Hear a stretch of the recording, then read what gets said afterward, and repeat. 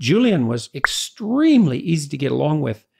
Um, And although he was a tough was little kid. agreeable. Yeah. Yeah, and it wasn't because he was agreeable, because he's not agreeable, but he's really emotionally stable, really low in neuroticism. And so, and I, when in retrospect, I thought, well, that makes sense because if he said no, you couldn't get him to do it. Like Mhm. really, really, when when he was a little kid, When he was a little kid, he used to say yes in school sometimes, but not do it. Yeah, he just didn't want to be thing he did. bothered Yeah, by that's the people who Yeah, were yes, asking shut him. up. So I had to explain to him. I said, you know, there might be other kids who want to do this. You've said yes, you've got you've got the right to do it, but now you didn't do it. Someone else didn't get to do it. So just say no and get on with it. Well, now he just says no, No. very easily. yeah, yeah, when he was, That like, used to confuse me.